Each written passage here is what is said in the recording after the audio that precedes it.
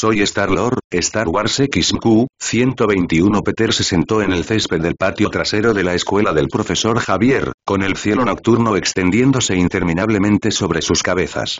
No regresaré. Así que deberían prepararse y venir aquí rápidamente. Le guiñó un ojo a la cámara de su datapad y agregó. Nos vemos pronto. Peter, no te atrevas, gritó una voz a través de los altavoces, pero se cortó rápidamente cuando terminó la llamada, sabiendo muy bien que se ganaría una reprimenda cuando llegaran. Soltó un suspiro y envió rápidamente las coordenadas de la Tierra a Yoda, incluidas las instrucciones sobre cómo evitar algunos peligros en el camino. Luego, se guardó el cuaderno de datos en el bolsillo, se reclinó y miró las estrellas centelleantes. De pronto, detrás de él, un sonido de pasos, acompañado del característico golpe de un bastón contra el suelo, llamó la atención de Peter. Sin necesidad de mirar, gritó. ¿No pudiste dormir, abuela? Peggy Carter se acercó, vestida con su atuendo habitual. ¿Quién dijo que alguna vez llegué a la cama? Algunos de nosotros tenemos trabajos, ¿sabes? Se sentó en el borde de una gran fuente cercana y agregó. Y deja de llamarme abuela, mocosa. Peter se rió entre dientes. No, creo que te queda bien, abuela. Peggy dejó escapar un suspiro cansado y también alzó la mirada hacia las estrellas. ¿Cómo es ahí arriba? Peter sonrió y sus ojos reflejaron las luces celestiales. En realidad, es muy parecido a lo que ocurre aquí abajo, pero todo es a una escala mucho mayor. Hay gobiernos, pero en lugar de países, abarcan planetas enteros, sistemas estelares y más. Pero, sin importar a dónde vayas, todos tenemos los mismos problemas y aspiraciones. Seamos extraterrestres o no, todos somos iguales. Aunque puede ser muy hermoso, hizo una pausa por un momento, mientras su mente volvía a sus viajes. Todavía recuerdo la primera vez que vi el planeta Ilum. Es un planeta helado cubierto de tanta nieve y hielo que refleja la luz de su sol como una joya brillante. El equivalente aquí en la Tierra sería viajar a los polos norte o sur, supongo. Pero, como dije, todo se magnifica allí arriba. Peggy miró las estrellas y su imaginación se desbocó con la descripción de Peter. De repente, preguntó. ¿Qué es un Sith? Peter frunció el ceño y la miró de reojo. Veo que has estado escuchando a escondidas. Peggy se encogió de hombros, sin expresión de disculpa. Es mi trabajo, después de todo. Peter se burló y volvió a mirar al cielo. Los Sith son los malos, respondió con sencillez. Peggy enarcó una ceja. Sí, creo que ya lo he deducido. ¿Pero qué son exactamente? ¿Son una raza de extraterrestres o algún tipo de sindicato del crimen? Peter pensó detenidamente antes de responder. Los Sith son una orden de individuos enloquecidos que utilizan emociones negativas como la ira, el odio y el dolor para alimentar su búsqueda de poder. Rechazan emociones como la empatía y la compasión, considerando las debilidades. Y resulta que son el enemigo número uno de la Orden Jedi. Y tú eres un caballero de la Orden Jedi, ¿verdad? Preguntó Peggy con curiosidad. Peter tarareó en señal de acuerdo, recostándose en el pasto. Sí, me rescataron aproximadamente un mes después de que me secuestraran de la Tierra. Sin ningún otro lugar a donde ir, pensé. ¿Por qué no convertirme en un monje espacial mágico y rudo? Peggy rió levemente. ¿Monje mágico espacial? Peter asintió, sonriendo. No te olvides de la parte ruda. Entonces, ¿de ahí sacaste tus poderes? ¿Te enseñaron su magia? Sí, aunque en realidad no es magia. Es la fuerza, explicó Peter. Peggy levantó una ceja. ¿La fuerza? Peter asintió de nuevo. Sí, la fuerza. Fluye a través de todo y de todos.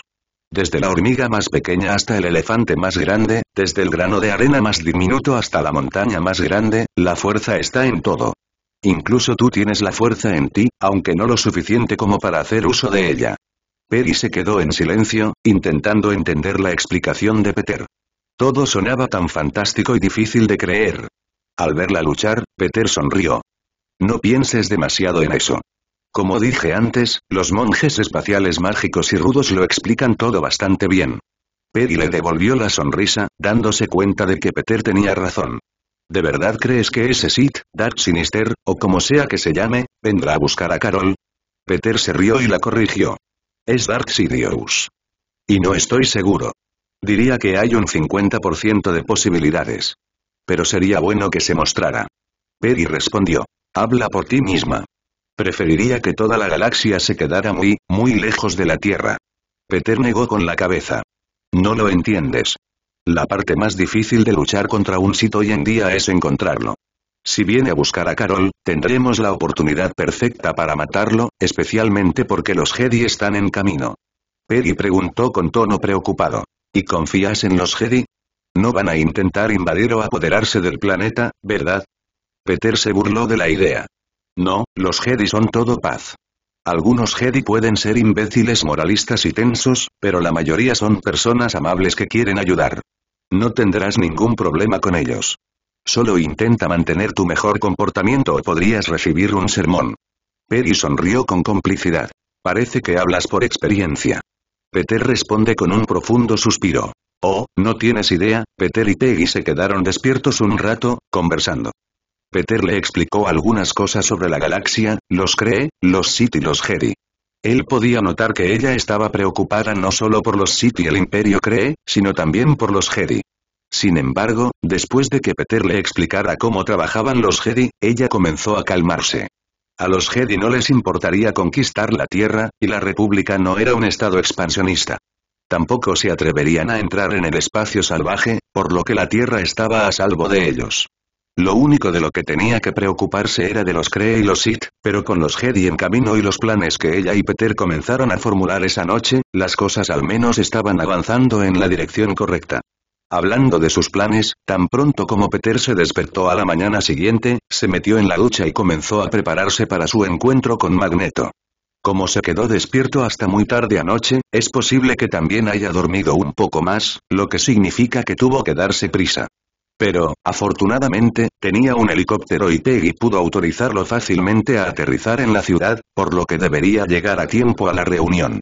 Cuando terminó de vestirse después de sus rituales matutinos habituales, Peter fue a ver si Carol estaba despierta. Tocó a la puerta de la oficina de Javier, lo llamaron y encontró al profesor detrás de su escritorio, revisando algunos papeles. En la esquina de la habitación, vio a Carol todavía inconsciente en su cama de hospital, lo cual era bueno ya que tenía que irse de todos modos. Buenos días, profesor saludó Peter, congelándose por un momento al darse cuenta de algo. Olvidé decirle y buenos días, Peter respondió Javier, levantando la vista de sus papeles.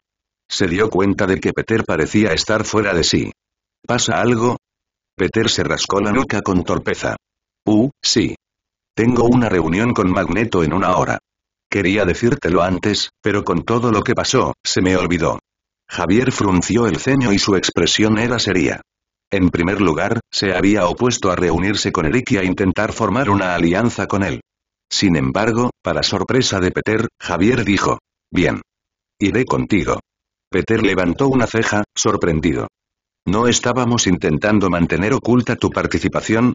Al menos hasta que Magneto aceptara formar equipo. Javier asintió y rodó su silla alrededor del escritorio. Sí, pero he cambiado de opinión. Como dijiste, es muy probable que se produzca una invasión alienígena en los próximos días o semanas. Y odio decirlo, pero necesitaremos toda la ayuda que podamos conseguir. Y si eso significa arriesgarnos a otra posible puñalada por la espalda del hombre que solía ser mi mejor amigo, que así sea. Al notar la incertidumbre en el rostro de Peter, Javier continuó. Además, Eric será mucho más receptivo si yo estoy presente para defenderte. Aunque ahora somos adversarios, hubo un tiempo en el que Eric y yo éramos tan cercanos como hermanos. Él prestará atención a lo que tengo que decir. Finalmente, Peter asintió y aceptó llevar a Javier con él. Está bien, pero ¿quién la cuidará? Señaló a Carol. Javier frunció el ceño mientras pensaba antes de responder. Llamaré a algunos profesores. Además, las clases están suspendidas hasta que se puedan reparar los daños en la escuela, por lo que no están muy ocupados estos días. Y así, dejaron a Storm y Beast para cuidar de Carol. Beast porque sabría qué hacer si ella necesitaba ayuda médica, y Storm para ayudar a calmar a Carol si se asustaba al ver a Beast. Intentaron que el Doctor Strange también la vigilara, pero él se negó a hacer cualquier trabajo pesado, como él lo llamó. Pero aún así, con Carol debidamente cuidada, Peter y Javier subieron al helicóptero y volaron hacia la ciudad. Mientras su helicóptero desaparecía en el horizonte, se pudo ver un pequeño y discreto dron siguiéndolos desde la distancia, con sus cámaras zumbando silenciosamente mientras rastreaba sus movimientos. Al otro lado del país, en Los Ángeles, Tony Stark estaba sentado en el sofá de una de las muchas salas de estar de su mansión, mirando las imágenes en vivo del dron en su televisor. Había estado investigando a Peter durante un tiempo y la falta de información que encontró lo había obligado a construir y desplegar este dron para espiarlo.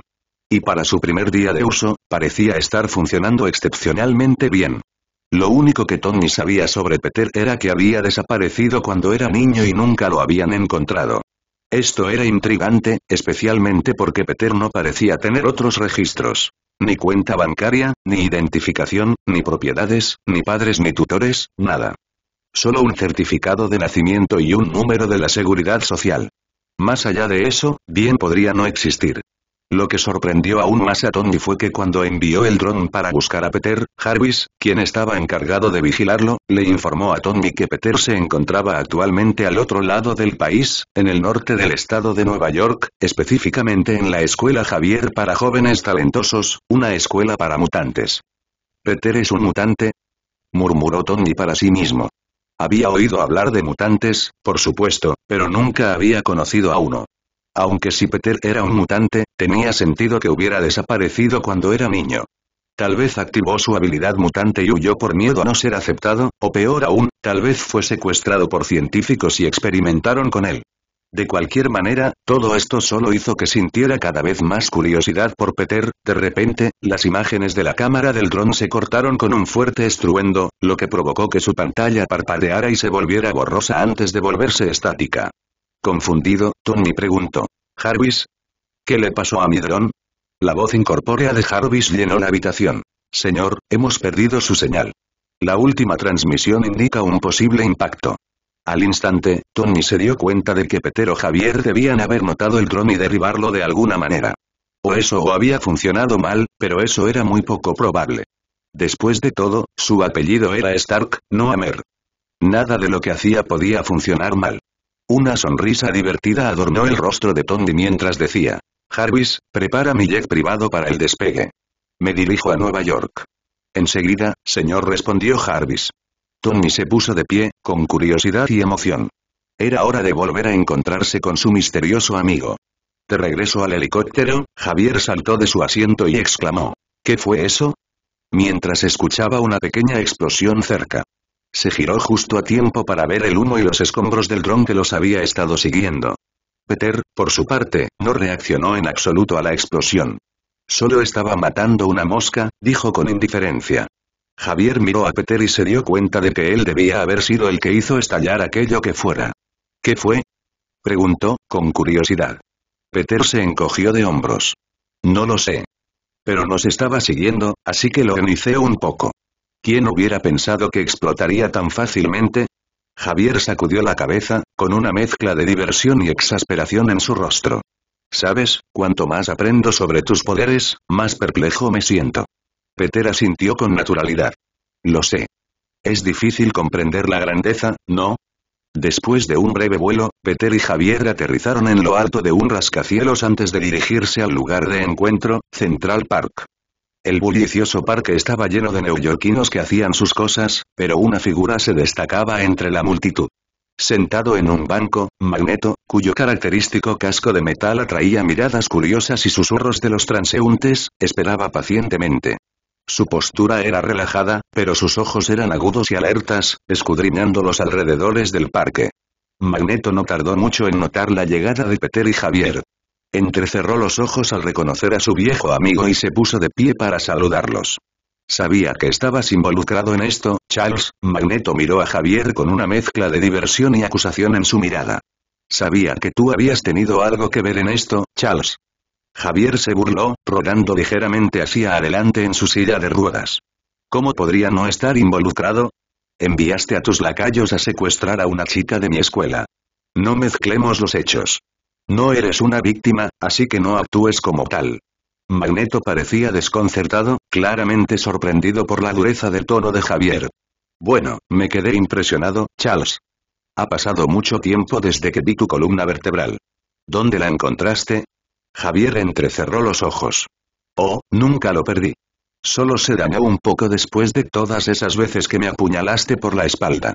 Pero, por suerte, hace poco conocí a un buen cirujano. De pie a un lado, Peter sintió que la tensión aumentaba entre los dos antiguos amigos. Sonrió torpemente antes de entrar. Hola, se colocó entre Javier y Magneto, quienes seguían mirándose con enojo. Soy Peter, y soy el hombre que está sosteniendo a tus lacayos, como los llamó tan elocuentemente el profesor. Magneto volvió la mirada hacia Peter, reconociendo su voz de la llamada telefónica que habían tenido. Ah, si no es el secuestrador. Peter se encogió de hombros. Eh, yo no los llamaría rehenes. Más bien prisioneros. Después de todo, intentaron secuestrar a una menor de edad. Hizo una pausa, una expresión de falsa comprensión cruzó su rostro mientras miraba a Magneto con cautela. ¿Sabes, ahora que lo pienso, por qué tus seguidores estaban tratando de secuestrar a una menor? ¿Lo ordenaste? No pensé que te gustara ese tipo de cosas, tal vez deberíamos involucrar a la policía en esto. Cuidado, muchacho dijo Magneto en voz baja y peligrosa. Estás jugando un juego peligroso.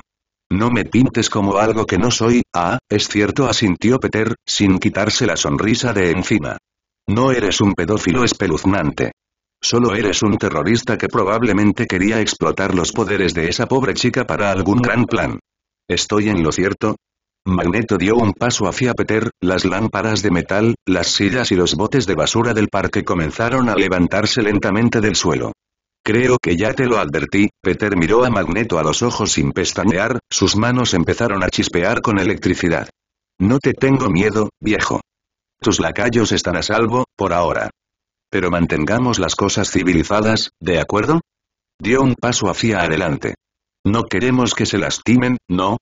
Antes de que la situación pudiera empeorar, Javier se adelantó con expresión severa. Eric, cálmate.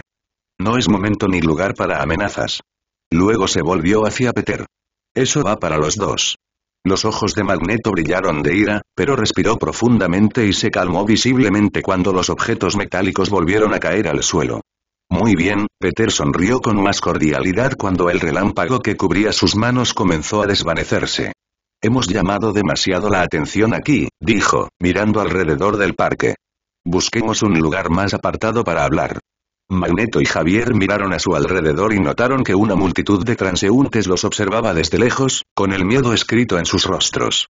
Ambos asintieron en señal de acuerdo, dándose cuenta de la necesidad de privacidad. De acuerdo dijo Magneto. Dirige el camino. Javier asintió y comenzaron a moverse hacia un lugar más privado, dejando atrás a los curiosos y asustados espectadores. Después de una corta caminata, lograron encontrar un lugar apartado para hablar, mientras los sonidos de las sirenas resonaban en la distancia. Alguien debe haber llamado a la policía, se dio cuenta Peter, pero por suerte se fueron justo a tiempo. Tan pronto como entraron en un callejón apartado, Magneto se volvió hacia Peter con expresión dura. Muy bien, vayamos directo al grano. ¿Qué quieres a cambio del regreso sano y salvo de mis hombres? Javier frunció el ceño. ¿Puedes dejar de decirlo como si fuéramos secuestradores malvados? Tú y tus seguidores sois criminales, no lo olvidemos. Magneto miró a Javier y una sonrisa burlona se dibujó en sus labios. Puede ser, pero si es así, deberías haberlos entregado a la policía, no haberlos mantenido cautivos para negociar conmigo. Así que, sí, Charles, eres un secuestrador en esta situación. Javier frunció aún más el ceño, claramente irritado. Sabía que Eric solo lo decía para irritarlo, pero aún así le dolía. Peter se encogió de hombros, aparentemente despreocupado. Bueno, en realidad no me importa de ninguna manera. Secuestrador o no, tengo a tus hombres y tú no sabes dónde están. Magneto alzó una ceja. ¿De verdad? ¿Quién dice que no tengo un equipo recuperándolos mientras hablamos? Peter se burló. Porque si lo hicieras, no estaríamos hablando ahora. No tienes idea de dónde están, así que tienes que portarte bien y traerlos de vuelta sanos y salvos antes de poder soltarlos, ¿no? Magneto miró a Javier con un dejo de respeto en los ojos. Es muy inteligente. ¿Es uno de los tuyos? Javier negó con la cabeza, a punto de hablar, pero Peter lo interrumpió. No, somos más bien aliados. Y, sinceramente, al final de esta reunión, esperamos que tú también te conviertas en un aliado. Al oír esto, Magneto no pudo evitar reírse, y el sonido resonó en las paredes del callejón. Se volvió hacia Javier. ¿No puede hablar en serio? Pero la mirada en los ojos de Javier le dijo que era verdad. Tenemos mucho que discutir, Eric, dijo Javier con calma. La risa de Magneto se apagó y fue reemplazada por una expresión más seria. Muy bien. Escuchemos lo que tienes que decir. Peter respiró profundamente, consciente del peso de lo que estaba a punto de proponer. Estamos aquí para hablar de un enemigo común. Los nazis, o más específicamente, Hydra. La expresión de Magneto se volvió gélida ante la mención del nombre. ¿Hydra? ¿Qué pasa con ellos? ¿No están extintos? Al notar su reacción, Peter negó con la cabeza. No, lamentablemente, todavía están muy vivos y prosperando. Magneto se mostró escéptico. ¿Y tienes pruebas de eso? Peter asintió y metió la mano en su chaqueta para sacar un grueso archivo antes de entregárselo a Magneto. El archivo contenía numerosos documentos de Hydra que Peter había encontrado en la habitación roja. Había excluido meticulosamente cualquier cosa que mencionara a Shiel, ya que no quería darle demasiada información a Magneto, al menos no hasta que aceptara unirse a ellos. Mientras Eric tomaba el archivo y lo ojeaba, Peter habló. Conocemos tu historia con los nazis. Sabemos cuánto sufriste a manos de ellos. Hydra es lo peor de lo peor cuando se trata de ellos. Han estado acechando en las sombras durante décadas. Su influencia y poder están creciendo, y hay que detenerlos antes de que sea demasiado tarde, Magneto entrecerró los ojos. ¿Y por qué me necesitáis para esto? ¿Por qué no os encargáis vosotros? Javier habló con voz suave pero firme. Porque Hydra es más insidiosa y está más extendida de lo que te puedas imaginar, Eric. Como mencionó Peter hace unos días mientras me reclutaba, Hydra tiene una forma de sobrevivir. Corta una cabeza y dos más crecen en su lugar, o como sea el dicho. Necesitamos atacar rápido y con fuerza si realmente queremos eliminarlos para siempre. Peter dio un paso adelante y su tono era serio. Creo que todos podemos estar de acuerdo en que Hydra representa una amenaza para todos, incluidos los mutantes. No hay ninguna razón por la que no podamos unir fuerzas para luchar juntos en esto. ¿Y quién sabe? Este podría ser el comienzo de una asociación duradera. La mirada de Magneto se movió entre Peter y Javier, sopesando sus palabras. ¿Esperas que crea que quieres unirte a mí solo para luchar contra Hydra? ¿Cuál es el truco? Peter negó con la cabeza. No hay trampa. Queremos acabar con Hydra y sabemos que tienes el poder y la motivación para ayudarnos. Tu odio por los nazis y todo lo que representan te convierte en el aliado perfecto en esta situación. Magneto se cruzó de brazos. ¿Y qué propones exactamente que hagamos? Javier se acercó, con expresión seria. Necesitamos reunir la mayor cantidad de información posible. Identificar sus operaciones clave, miembros y líderes. Y una vez que los hayamos identificado a todos, atacaremos interrumpió Peter con tono decidido. Tampoco os pedimos que sigáis nuestras órdenes. Os pedimos que os unáis a nosotros como iguales, para luchar codo a codo contra un enemigo común.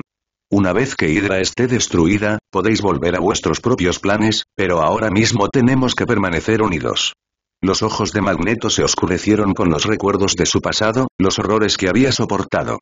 ¿Cómo sé que puedo confiar en ti? ¿Cómo sé que esto no es una estratagema para capturarme a mí o a mi gente? Peter asintió, entendiendo la vacilación. No lo haces. ¿Pero Charles te haría eso? Hizo un gesto hacia el profesor Calvo. Puede que hayan tenido sus diferencias en el pasado, pero en el fondo, creo que ambos todavía se consideran amigos, incluso si ninguno de los dos quiere admitirlo. Magneto frunció el ceño y sus ojos no se apartaron de los de Javier.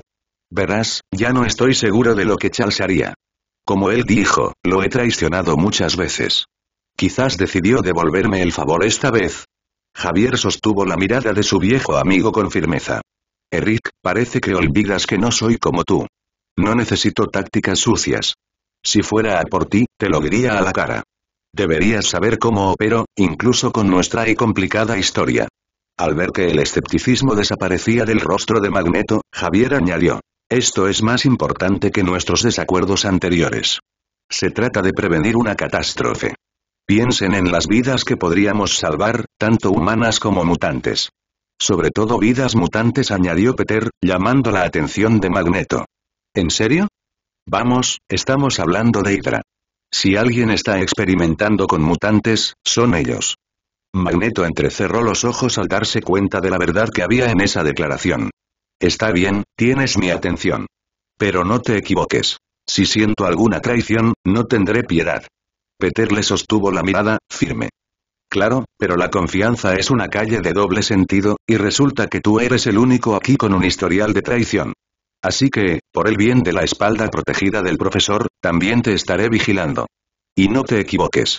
Si percibo alguna traición, no tendré piedad. Mientras hablaba, torciendo las palabras de Magneto en su contra, Peter activó su vista mortal, desatando una oleada de oscura intención asesina infundida por la fuerza que tomó a Magneto por sorpresa. ¿Qué?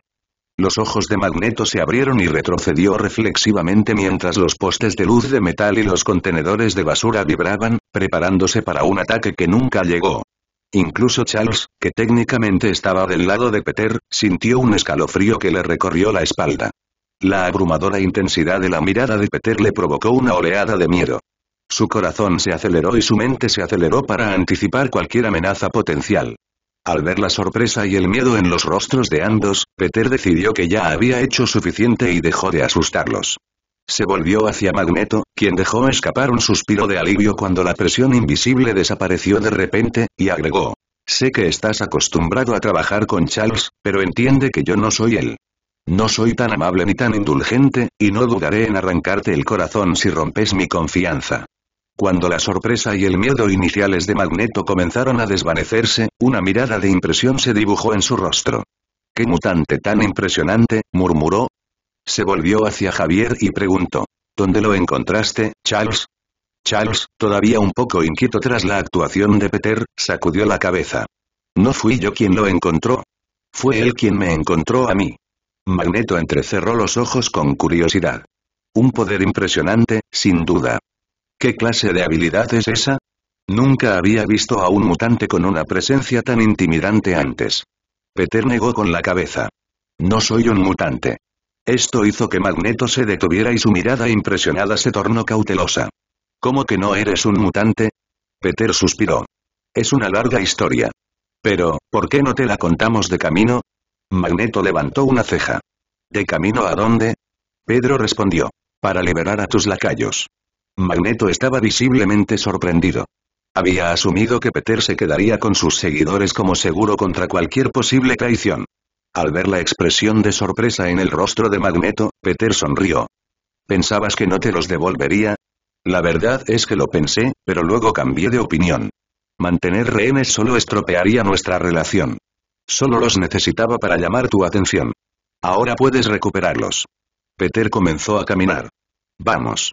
Tenemos un helicóptero estacionado cerca, gritó antes de detenerse. Se dio la vuelta y le hizo un gesto a un hombre sentado en un banco al otro lado de la calle, aparentemente absorto en un periódico. Ah, y también puedes llamar a tu amiga que cambia de fiel. Ella puede viajar con nosotros. El hombre levantó la vista del periódico y vio los llamativos ojos amarillos de Mystique, llenos de sorpresa. ¿Cómo lo supo?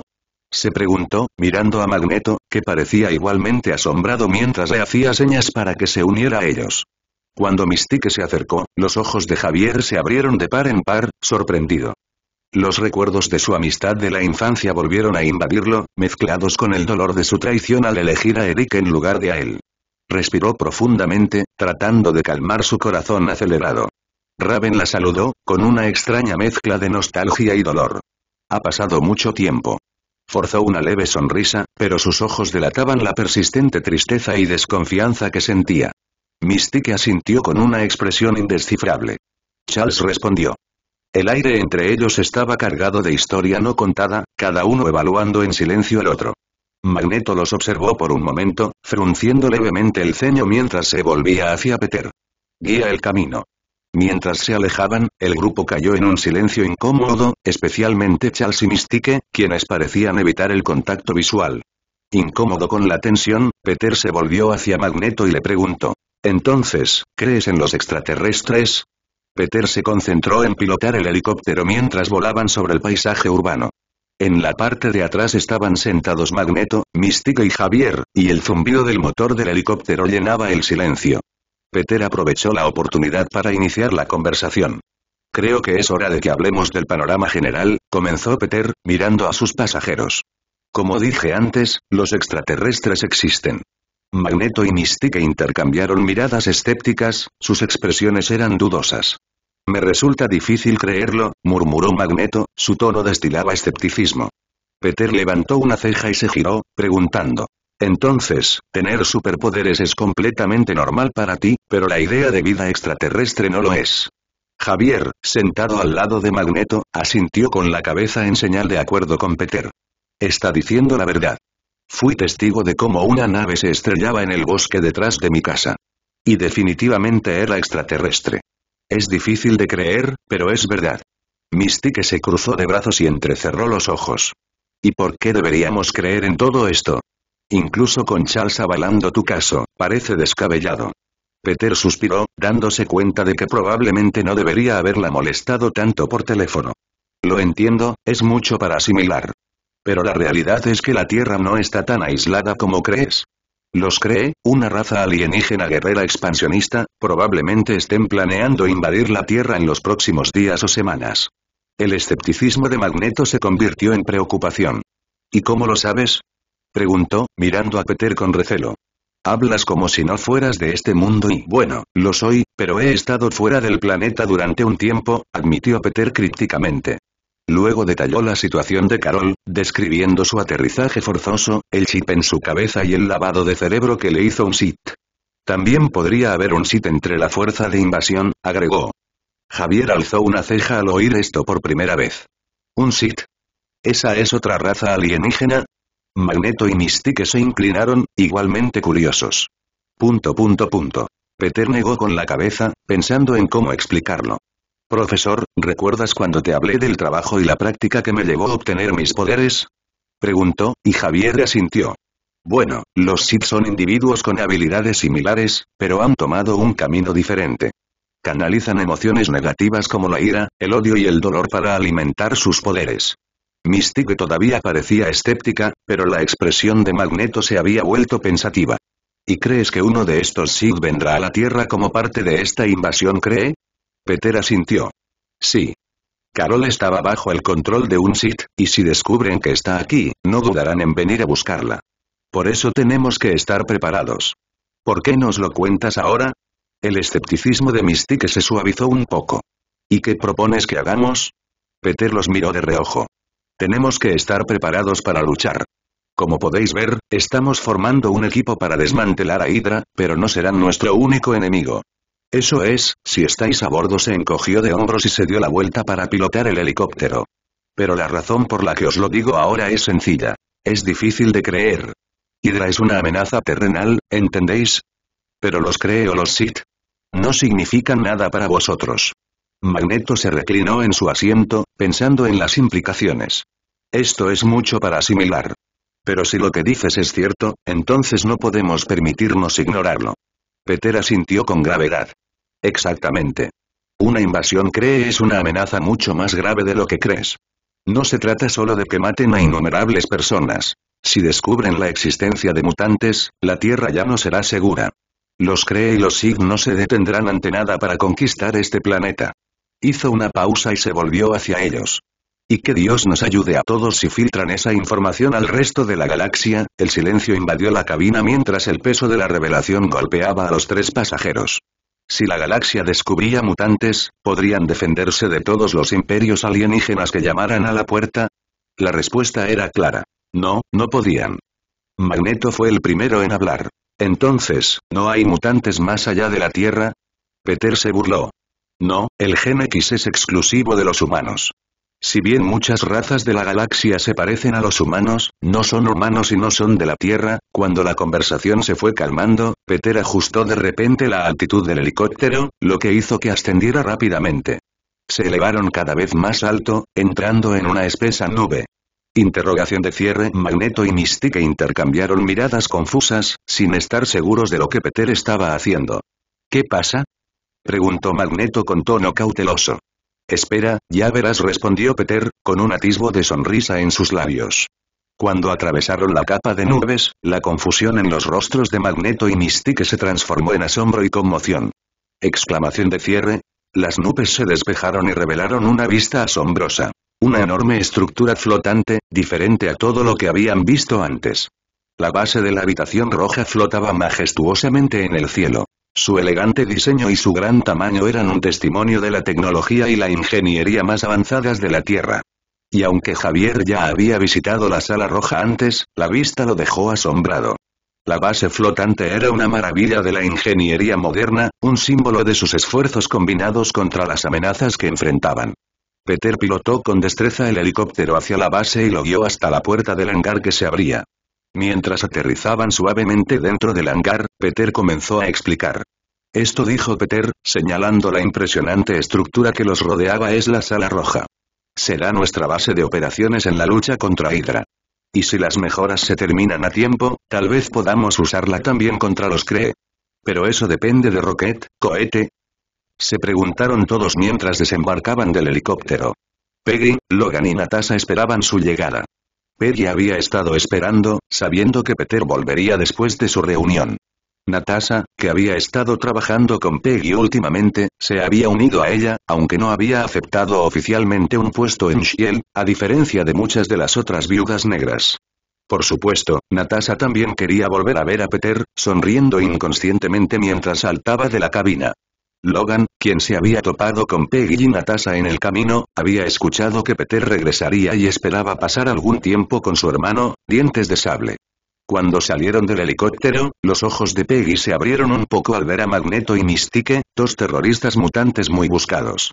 De hecho, logró reclutarlos, la tensión era palpable, pero Peggy había aceptado el plan de Peter de intentar trabajar juntos, así que dio un paso adelante, adoptando una actitud profesional. Bienvenidos a la sala roja dijo Peggy, extendiendo la mano hacia Magneto y Mystique. Soy la directora Carter. Es una sorpresa verlos aquí. Magneto le tomó la mano y su expresión era de leve diversión. El placer es mío, señorita Carter. Entiendo que todos estamos aquí por una causa común. Luego, Mystique estrechó la mano de Peggy, con expresión más cautelosa. Ojalá que así sea. Peter, percibiendo la tensión, intervino para calmar las cosas. Todos, estos son Magneto y Mystique.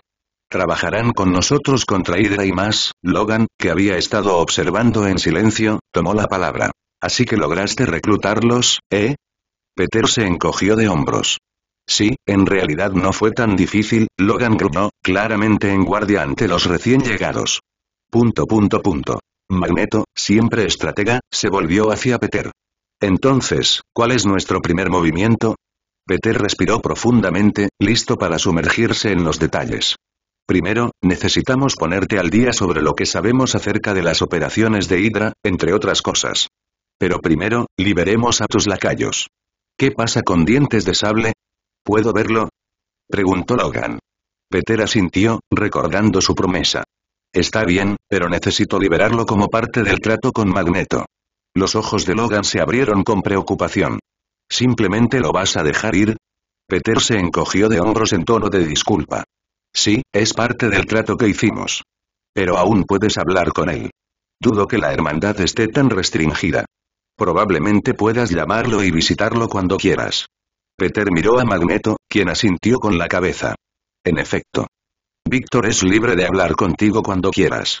Con esa seguridad, Peter les dijo que esperaran mientras él iba a buscar a los prisioneros. Volveré en unos minutos.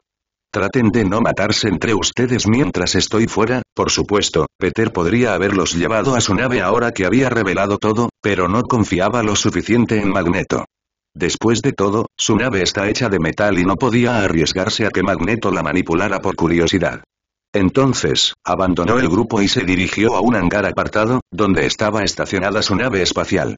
Dentro de la nave, Peter se dirigió a la prisión donde se encontraban Toar, Juggernaut y Sabretooth. Los tres prisioneros levantaron la vista cuando entró, sus expresiones eran una mezcla de resignación y desafío. Peter sonrió alegremente, a pesar de sus ceños fruncidos. Buenas noticias, muchachos. Son libres de irse. Y adivinan que... Trabajaremos juntos mucho más en el futuro. Los prisioneros se miraron entre sí, claramente confundidos y escépticos. Sí, claro, vete a la mierda. Juggernaut no creyó ni una palabra de lo que dijo. Con esto, Peter comenzó el procedimiento para liberarlos, empezando por los chips implantados en sus cuellos. No tenían idea de que estos chips estaban allí, por lo que verlos removidos ciertamente fue un shock, pero solo tomó un momento. Peter había pensado en dejar los chips, pero sabía que Magneto se daría cuenta. Después de todo, estaban hechos de metal. Por supuesto, les mantuvo las esposas puestas, ya que mantenían a los prisioneros bajo control con la amenaza de electrocutarlos si se portaban mal. Luego, para asegurarse de que no pudieran aprender demasiado sobre su nave, les colocó bolsas sobre la cabeza y los hizo salir. Oye, tartamudeó Toar, con la imaginación desbocada. No nos vas a matar, ¿verdad? Mira, lo sentimos, ¿de acuerdo? Esto no tiene gracia, por favor, no nos mates, suplicó con voz temblorosa. Magneto no te dejará salirte con la tuya. Peter condujo al trío fuera de la nave en silenciosa diversión, llevándolos de regreso al hangar donde Magneto y los demás estaban esperando. Cuando llegaron, todavía convencidos de que estaban a punto de ser ejecutados, Peter les quitó las bolsas de la cabeza, revelando a Magneto parado frente a ellos. Los ojos de Toar, Juggernaut y Sabretoot se abrieron con sorpresa cuando vieron a su líder. Jefe. Magneto sonrió y su presencia destilaba autoridad. Bienvenidos de nuevo, amigos míos. Tony Stark estaba cómodamente sentado en su jet privado, con un vaso de whisky en la mano mientras miraba por la ventana. El vuelo a Nueva York transcurría sin problemas, pero su mente estaba llena de curiosidad por Peter. ¿Quién eres exactamente, Peter Kill? murmuró para sí mismo. De repente, la voz de Jarvis irrumpió en sus pensamientos. Señor, tengo algo que necesita ver. Tony levantó una ceja. ¿Qué pasa, Jarvis? Una pantalla del avión se encendió y mostró imágenes de las cámaras de seguridad. Tony se inclinó hacia adelante, interesado. Las imágenes mostraban Central Park, con un enfrentamiento entre Peter y un hombre al que Tony no parecía reconocer. La escena se desarrolló y mostró a Magneto levantando objetos metálicos como bancos y botes de basura en el aire. Los ojos de Tony se abrieron de par en par. ¿Es un mutante? murmuró con asombro. ¿Para eso volaba Peter a la ciudad? Para encontrarse con este mutante? Pero lo que realmente le llamó la atención fue Peter. Vio cómo la electricidad crepitaba en las manos de Peter, bailando entre sus dedos. Sostuvo la mirada de Magneto sin una pizca de miedo. Los dos permanecieron allí, mirándose amenazadoramente, la tensión era palpable incluso a través de la pantalla. Tony apretó más el vaso. ¿Qué demonios estás tramando, Peter? Susurró, pensando en todas las posibilidades. La grabación continuó y mostró al profesor Javier rodando hacia adelante, hablando con calma y aparentemente calmando la situación. Los objetos metálicos volvieron a caer al suelo y la electricidad se disipó de las manos de Peter. Tony se reclinó en su asiento, procesando lo que acababa de ver. Jarvis, recopila todo lo que sabemos sobre Peter Key. Este chico definitivamente trama algo, ya estoy trabajando en ello, señor respondió Jarvis. Seguiré monitoreando la situación en Nueva York. Tony asintió. Sí, manténme informado de cualquier novedad. E infórmame en cuanto aterricemos. Necesito verlo en persona, como desee, señor, respondió Jarvis. La mente de Tony seguía agitada por preguntas y teorías mientras miraba la pantalla. Este encuentro con Peter iba a ser incluso más interesante de lo que había pensado inicialmente. Rocket estaba en su elemento, rodeado de piezas, cables y aparatos mientras trabajaba frenéticamente para mejorar la base flotante de la habitación roja. Sus peludas patas movían con precisión y sus ojos recorrían el lugar, captando cada detalle. Junto a él, Goot, Cosmo, Tefs, Lilla y Flor se apresuraron a seguir sus rápidas instrucciones, cada uno tratando de seguir el ritmo implacable del mapache. Goot, pásame ese acoplador de plasma. Gritó Rocket. Soy Groot, respondió el ser con forma de árbol, entregándole una parte al azar. Sin mirar, Rocket lo tomó, solo para darse cuenta de que no era lo que había pedido. No, idiota, el que está a tu izquierda. Gritó, consiguiendo finalmente lo que necesitaba. Cosmo, asegúrate de que esos conductos estén conectados correctamente. No, no, el azul va ahí, no el rojo. La voz de Rocket era cortante, casi un reproche. Sí, Rocket, respondió Cosmo. Sus habilidades telequinéticas la ayudaron a unir las piezas según las instrucciones. Tefs, Lilla y Flor se apresuraron a trabajar juntos, cada uno haciendo su parte para que la operación funcionara sin problemas. A pesar de sus mejores esfuerzos, la voz de Rocket nunca perdió su filo. Cerca de allí, Howard del Pato estaba descansando con una bebida en la mano y los ojos vidriosos por la borrachera. Frente a él, Revan estaba sentado con las piernas cruzadas, meditando. El aura serena del fantasmal Lord Sid contrastaba marcadamente con el caos que lo rodeaba. Howard tomó otro trago de su bebida y dejó escapar un suspiro largo y exagerado. No puedo creer que Peter nos haya dejado atrapados aquí en esta lata flotante. No hay animales que hablen, no hay árboles vivos, no hay fantasmas de la fuerza del lado oscuro en este planeta. Solo un grupo de humanos aburridos. ¿Cómo se supone que vamos a disfrutar? Es como si se hubiera olvidado de lo que significa divertirse. Las orejas de Rocket se crisparon con irritación. Podía sentir que su concentración flaqueaba. Finalmente, espetó. Lo entendemos, Howard. No has hecho nada más que quejarte desde que llegamos. Si quieres irte y explorar el planeta, entonces vete ya. Estoy tratando de hacer que este lugar pueda saltar al hiperespacio y no necesito escuchar a un pájaro borracho graznando sobre sus problemas además de todo lo demás.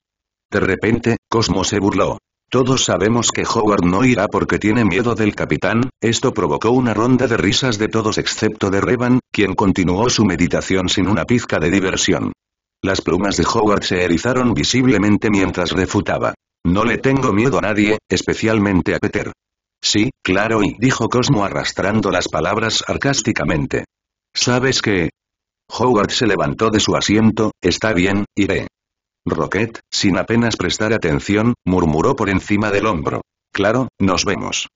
Howard dejó su bebida de golpe y comenzó a alejarse pisando fuerte, añadiendo. Me voy, y será mejor que ninguno de ustedes se lo diga a Peter. Cosmo no pudo resistirse a un último golpe. ¿Por qué? ¿Porque tienes miedo? Howard hizo una pausa y se volvió para mirar a Cosmo con enojo. ¿Sabes qué? Dígaselo si quiere. No me importa una mierda, Rocket, ya concentrado en su trabajo, respondió distraídamente. Sí, lo que sea. Vete ya. Mientras Howard se marchaba, en dirección al hangar para tomar posesión de un helicóptero, el equipo de Rocket continuó con sus esfuerzos. La atmósfera se aligeró con la partida del pato gruñón. En el hangar, Howard subió a un helicóptero, refunfuñando para sí mismo. ¿Creen que le tengo miedo a Peter? Sí, claro. Encendió el helicóptero y despegó, rumbo a explorar la Tierra a su manera. Horas después de la partida de Howard, Peter entró en el bullicioso hangar, con la mirada puesta en su equipo, Goot, Cosmo, Rocket, Tefs, Lilla y Flor, trabajando arduamente. Hola a todos anunció Peter, llamando la atención. Por fin les he explicado a los demás lo de los extraterrestres y todo eso. Así que, si quieren, pueden dejar de esconderse y presentarse ahora.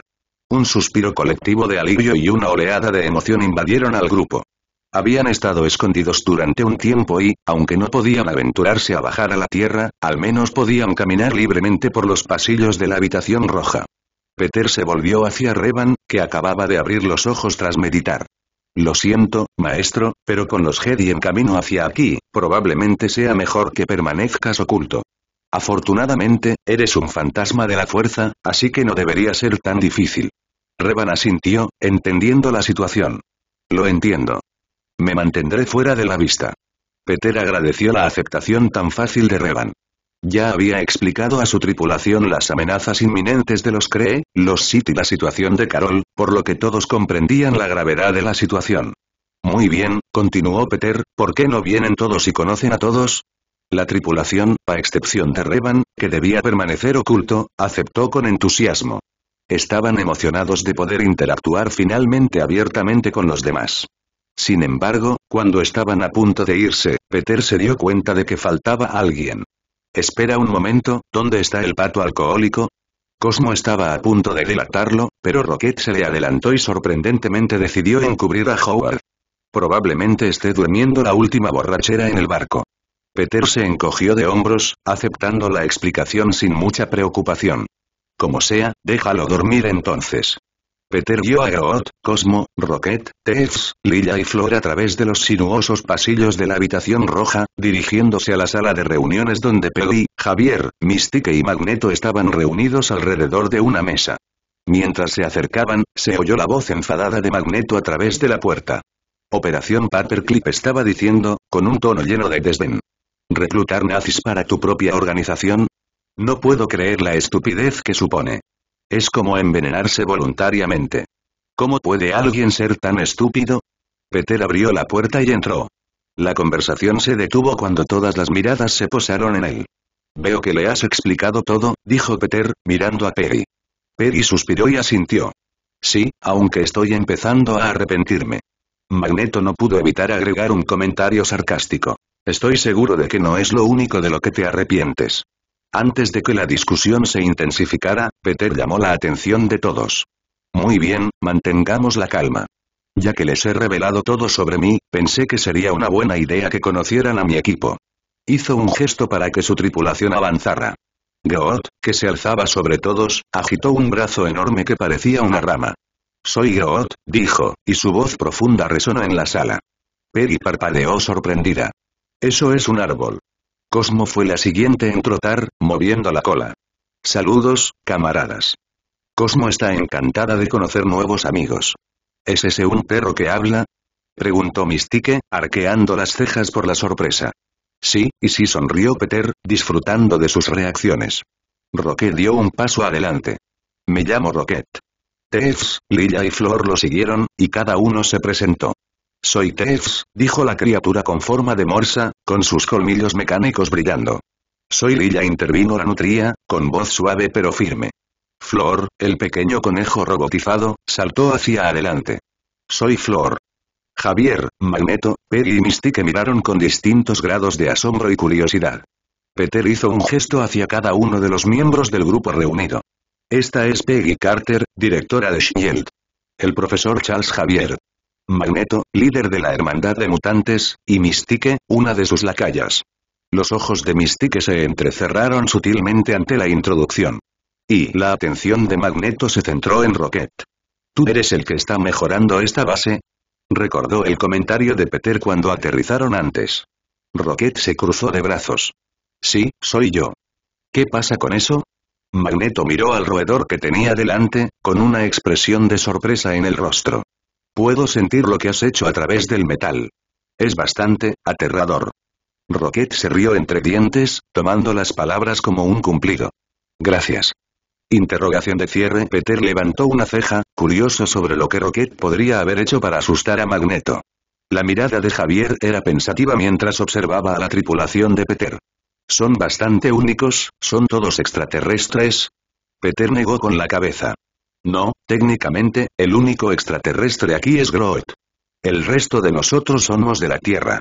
Peggy miró al grupo antes de volverse hacia Peter. ¿Cómo es eso posible? Preguntó. Los ojos de Magneto permanecieron afilados y recelosos.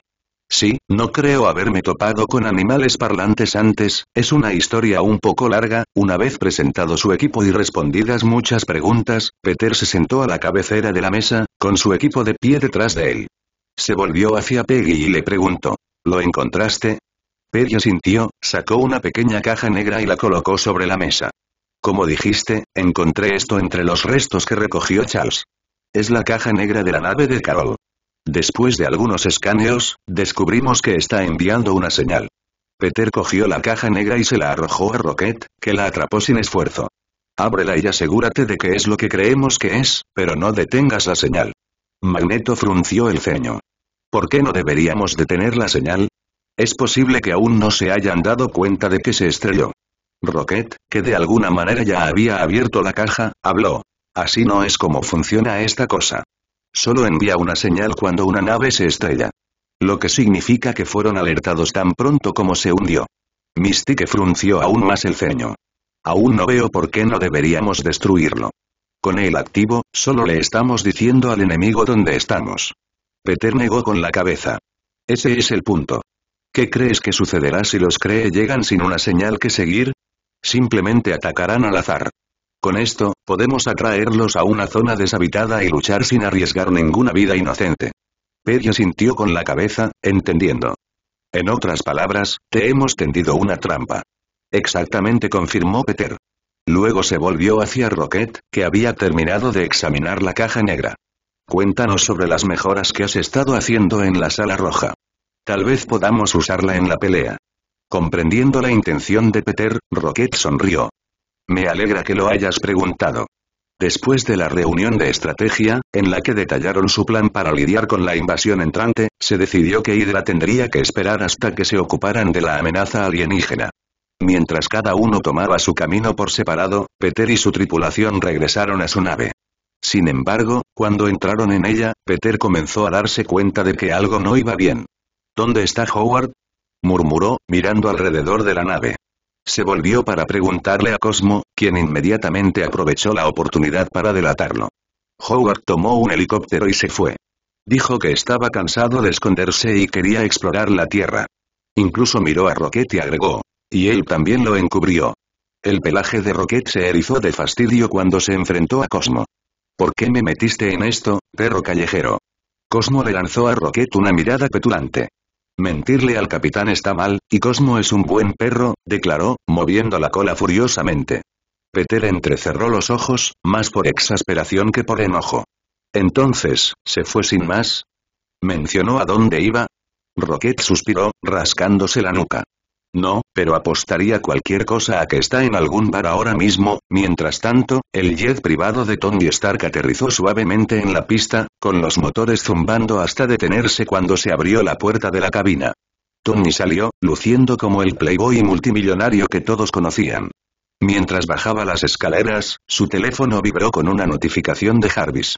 Señor, se desconoce la ubicación actual de Peter Key. Tony frunció el ceño y se pasó una mano por el pelo. Genial, simplemente genial. Supongo que vamos a ir a ciegas, murmuró para sí mismo. Sin un destino claro en mente, Tony decidió dirigirse directamente al bar del aeropuerto para tomarse una copa. Entró en el bar, donde reinaba una atmósfera de conversaciones apacibles y tintineo de copas. Se sentó en la barra y le hizo una señal al camarero. Sexo en la playa, ordenó sin pestañear, mientras su mirada vagaba por los clientes. Mientras el camarero se disponía a preparar su bebida, Tony se fijó en un alboroto que se había producido al otro extremo de la barra. Una figura pequeña y de aspecto extraño intentaba ligar con un grupo de chicas, que estaban visiblemente asustadas por su aspecto. Parecían pensar que no era más que un pequeño monstruo con un traje de piel. Vamos, nena. No hay razón para ser tan fría, dijo Howard con voz ebria. Ya sabes, una vez que te agachas, tú, sal de aquí, monstruo. Interrumpió una de las mujeres. Ya te lo dijimos, no nos interesa. Vete a buscar tu espeluznante disfraz a otro lado. Tony observó divertido cómo la figura, claramente borracha y que no se había tomado bien el rechazo, regresaba a la barra y se sentaba cerca de él. Al mirarla más de cerca, Tony se preguntó si realmente era un disfraz o no. ¿Es tan real? ¿Podría ser un mutante? Howard miró con enojo a las chicas que lo habían rechazado, murmurando para sí mismo. Son humanos estúpidos que no saben reconocer algo bueno cuando lo ven. Tony se rió entre dientes y tomó un sorbo de su cóctel recién hecho. Noche difícil, ¿eh? Podrías decirlo así. Howard miró a Tony y su enojo se desvaneció un poco. Mujeres, no es así. Tony sonrió con sorna. Te entiendo. Aunque tengo que decir que no estás vestido precisamente para ligar con chicas, Howard puso los ojos en blanco. Sí, no es broma. Tony y Howard estaban apoyados pesadamente en la barra. La corbata de Tony estaba suelta y el sombrero de Howard estaba torcido. El camarero preparó otra ronda de tragos. Tony se rió y casi derramó su bebida. ¿Sabes? Nunca pensé que estaría bebiendo con un pato. Howard sonrió burlonamente. Y yo nunca pensé que estaría bebiendo con un multimillonario. Los clientes se reunieron alrededor de Tony y Howard, formando un semicírculo y cantando en voz alta. Ambos inclinaron la cabeza hacia atrás y la cerveza espumosa cayó en cascada por sus gargantas. Tony bebió rápidamente y se secó la boca al terminar. Howard bebió lo mismo sorbo a sorbo, dejando caer su jarra de cerveza con fuerza. El bar estaba más tranquilo ahora, la multitud nocturna se estaba dispersando. Tony y Howard estaban visiblemente borrachos, hablaban arrastrando las palabras y sus movimientos eran exagerados. Tony le dio una palmadita a Howard en la espalda. ¿Estás, estás bien, lo sabías? Howard se rió entre dientes, tambaleándose en su taburete. Tú tampoco eres tan malo, Stark. Howard, completamente ebrio, dejó caer su vaso sobre la mesa de golpe. ¿Y sabes qué más? No le tengo miedo a nadie. Todos piensan que le tengo miedo a Peter, pero no es así. A veces puede ser un poco demasiado intenso, eso es todo, lo juro y las orejas de Tony se animaron al oír ese nombre. Peter. Tony observó cómo Howard se apoyaba pesadamente contra la barra, apenas capaz de mantener los ojos abiertos. Aprovechó la oportunidad, pues veía la posibilidad de averiguar más sobre Peter y ese nuevo amigo parecido a un pato que había hecho. Vamos, Howard dijo Tony, poniéndose de pie y arrojando algo de dinero sobre la barra. Te llevaremos a casa. Howard gruñó incoherentemente, pero no se resistió mientras Tony lo ayudaba a ponerse de pie. Salieron del bar, Howard tropezando y apoyándose en Tony para sostenerse. Tony se sorprendió al descubrir que Howard había llegado en un helicóptero, estacionado cuidadosamente en una plataforma de aterrizaje en el aeropuerto. ¿De dónde diablo sacó esta cosa? Murmuró Tony, notando las marcas soviéticas mientras cargaba al borracho Duke en la cabina junto a él. Muy bien, tonto, ¿a dónde vamos? Preguntó Tony, acomodándose en el asiento del piloto y poniendo en marcha el motor. Howard arrastraba las palabras, apenas tenía sentido. Arriba, tenemos que subir, Tony suspiró, dándose cuenta de que esto iba a ser un desafío. Está arriba. El helicóptero despegó y Tony comenzó a navegar siguiendo las instrucciones esporádicas y poco coherentes de su pasajero. El viaje no fue nada fácil, ya que Howard los guiaba en círculos a veces. Derecha, no, izquierda. Espera, arriba. Murmuró Howard, con la cabeza inclinada hacia un lado. Decídete, ¿quieres? Se quejó Tony, ajustando constantemente los controles. Después de lo que pareció una eternidad de desorientaciones y accidentes, finalmente lograron atravesar la espesa capa de nubes. Los ojos de Tony se abrieron de par en par cuando la base flotante de la habitación roja apareció a la vista, con su enorme estructura suspendida en el cielo como algo sacado de una película de ciencia ficción. ¿Qué carajo? Suspiró Tony, completamente asombrado por la vista. Ahí está, dijo Howard arrastrando las palabras, señalando con pereza. Ahí está. Tony se sacudió la sorpresa y se dirigió hacia uno de los hangares. Las enormes puertas se abrieron lentamente a medida que se acercaban, lo que les permitió entrar volando. El hangar estaba oscuro y extrañamente silencioso cuando aterrizaron. Tony ayudó a Howard a salir del helicóptero, ambos tratando de ser lo más silenciosos posible, como adolescentes que regresan a escondidas a la casa después de una noche de fiesta. Sin embargo, su sigiloso acercamiento se vio arruinado abruptamente cuando las luces del hangar se encendieron, inundando el espacio con una luz brillante. Howard entrecerró los ojos y su corazón se hundió cuando vio a Peter apoyado contra la pared, con los brazos cruzados mientras miraba a Tony con sorpresa. Interrogación de cierre, Howard se tambaleó, intentando ponerse de pie. Oye, Cap, traje compañía, ya veo que Peter entrecerró los ojos y miró a Tony. ¿Te importaría explicarme qué está haciendo aquí? Le preguntó a Howard. Tony se aclaró la garganta y sonrió torpemente. Solo le llevo a tu amigo emplumado a casa. Ya sabes cómo se siente después de una larga noche de fiesta, ¿verdad?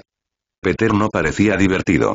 No estaba hablando contigo, Tony asintió, dándose cuenta de que tal vez había mordido más de lo que podía masticar. Está bien, un, me quedaré aquí, dijo, alejándose un paso de Peter y Howard. Los ojos de Peter se clavaron en Howard, su furia era palpable. ¿En qué demonios estabas pensando? Su voz era baja, la ira apenas contenida bullía bajo la superficie. Te dije que no te fueras. ¿Tienes idea de lo imprudente que fue eso? Y para empeorar las cosas, trajiste a alguien a nuestra base secreta. ¿Te das cuenta siquiera de lo que has hecho? Tony, que estaba a un lado, intentó intervenir. Oye, Peter, tal vez podamos. Peter se giró bruscamente y su mirada hizo callar a Tony al instante. No te metas en esto, Stark. Esto es entre el pato y yo. Tony levantó las manos en un gesto de apaciguamiento y decidió que era mejor no tentar a la suerte. Está bien, está bien. Solo intento ayudar.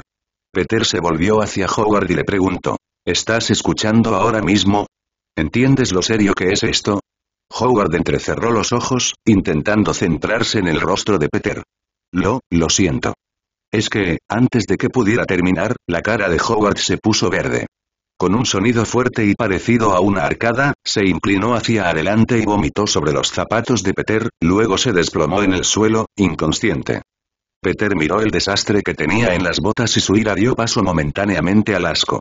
Respiró profundamente, tratando de recuperar la compostura. Genial. Simplemente genial. Tony no pudo evitar reírse, a pesar de la tensa situación. ¿Sabes? Una vez le hice exactamente lo mismo a mi viejo. Estaba muy cabreado, sí, bueno, yo también, Peter le lanzó una mirada y luego suspiró. Vamos, llevemos a este estúpido pájaro a la enfermería. Mientras Peter llevaba al pato inconsciente por el hangar, Tony tenía los ojos muy abiertos por la fascinación. La vista de la nave espacial estacionada allí era suficiente para dejarlo asombrado, pero la tecnología avanzada y el diseño elegante de la nave lo hacían babear. ¿Es esto, es esto lo que creo que es? Preguntó Tony, con una mezcla de emoción e incredulidad en su voz. Sí respondió Peter secamente, concentrado en llevar a Howard a la enfermería. ¿Por qué Howard tuvo que traerlo a este hangar?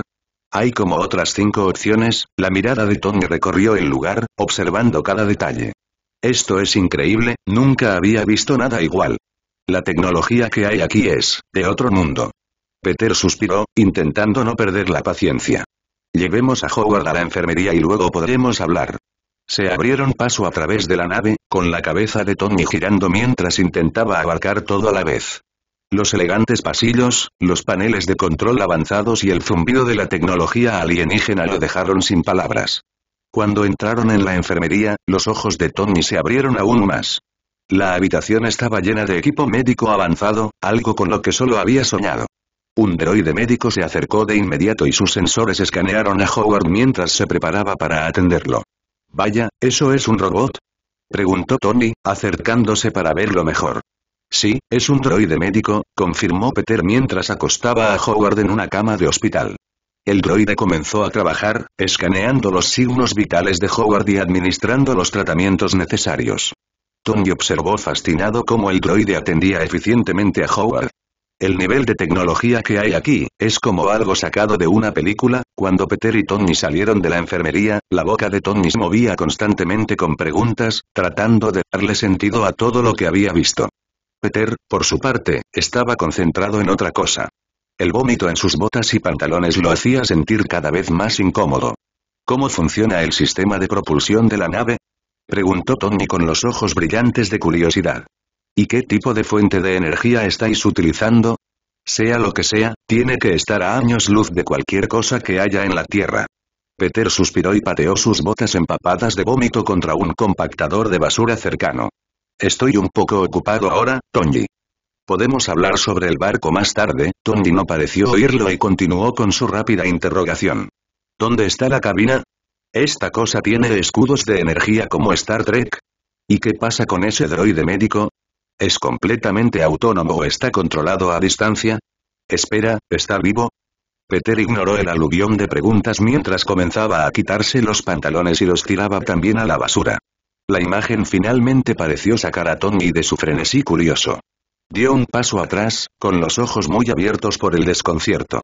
Espera, espera. exclamó Tony, levantando las manos a la defensiva. Yo no soy así, hombre. No es que tenga nada en contra de nada, pero me gustan las mujeres, no los hombres dice antes de darse cuenta de repente. Un momento. ¿Es esto una especie de ritual de bienvenida de tu planeta o algo así? ¿Debería quitarme los pantalones también? Peter se detuvo y miró a Tony, que empezó a desabrocharse los pantalones como si fuera un idiota. Para. Por el amor de Dios, detente. Solo me estoy deshaciendo de la ropa sobre la que vomitó Howard. Sacudió la cabeza y pasó junto a Tony en dirección a su habitación. Espera aquí. Tony se abrochó los pantalones y observó cómo Peter desaparecía en una habitación al final del pasillo, sintiéndose un poco tonto por haber entendido mal. Cuando Peter regresó un momento después, vestido con un par de pantalones y botas nuevos, Tony se frotó la nuca con torpeza. Ah, cierto. Lo siento. Pensé, sí, ya sé lo que pensaste, se burló Peter, con una pequeña sonrisa burlona en las comisuras de sus labios. Ahora, ven. Sígueme dijo, mientras salía de la nave y entraba en los laberínticos pasillos de la habitación roja. Mientras recorrían los pasillos, Peter miró por encima del hombro. Muy bien, Tony. Responderé tres preguntas, pero haré que sea rápido. Tengo cosas que hacer y realmente quiero dormir un poco esta noche. Los ojos de Tony se iluminaron ante la oportunidad. Primera pregunta. ¿Era una nave extraterrestre la que estábamos a bordo? Peter levantó una ceja. ¿En serio? Te doy tres preguntas gratis, y tú me preguntas algo cuya respuesta ya sabes. Tony se dio cuenta de su error. Sí, es evidente que es una nave extraterrestre. Hay que volver a intentarlo. Pensó un momento. ¿De verdad eres de la Tierra o tu identidad es una invención? Peter suspiró. Sí, soy de la Tierra. Mi información es real. Fui abducido por extraterrestres cuando tenía nueve años.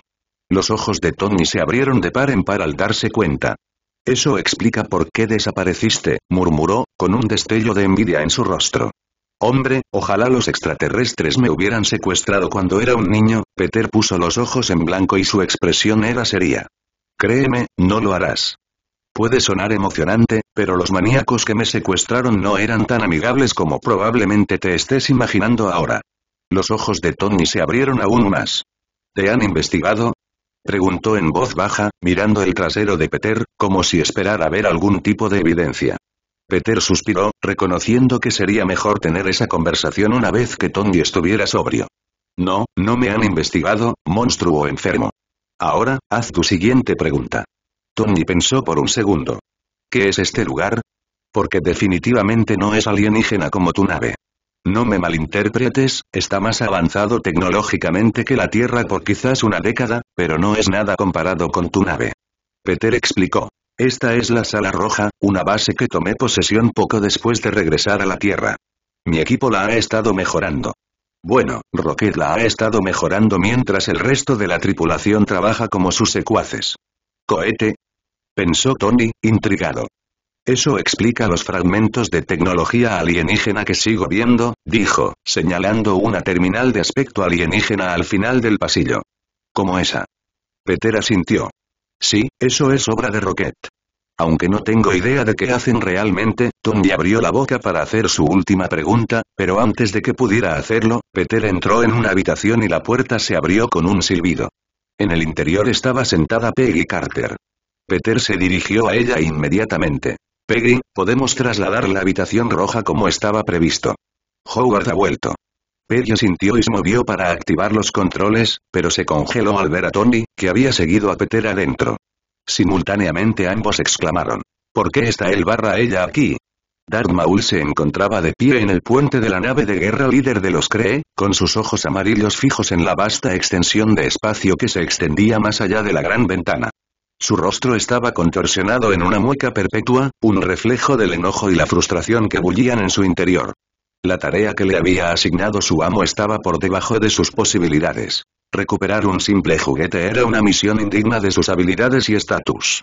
Para empeorar las cosas, esta misión lo obligó a ingresar al espacio salvaje, una región impredecible y peligrosa que podría cobrarle la vida en cualquier momento. El viaje tampoco había sido nada fácil. Ya habían perdido dos naves de guerra una por la insaciable atracción de un agujero negro y otra por una criatura colosal parecida a un calamar que había destrozado la nave antes de sucumbir al fuego de artillería de su flota. La muerte de la bestia había sido rápida, pero la pérdida de la nave y su tripulación fue un golpe para el orgullo y los recursos de Maul. A pesar de estos contratiempos, ya se acercaban a su destino. La flota acababa de entrar en el sistema solar de donde provenía la señal de Carol. Un planeta azul gigante se alzaba ante ellos. Neptuno. Más allá, una pequeña mancha en la inmensidad del espacio señalaba su verdadero objetivo. La Tierra. El ceño fruncido de Maul se profundizó mientras miraba fijamente la mota distante. Preparad la flota, ordenó, con su voz gruñendo. Nos acercamos a nuestro destino. Los oficiales del puente se pusieron firmes y dieron órdenes al resto de la flota. Las naves movían con precisión coordinada, cada una de ellas era una pieza del rompecabezas más grande y mortal que Maul pretendía desatar sobre este mundo desprevenido.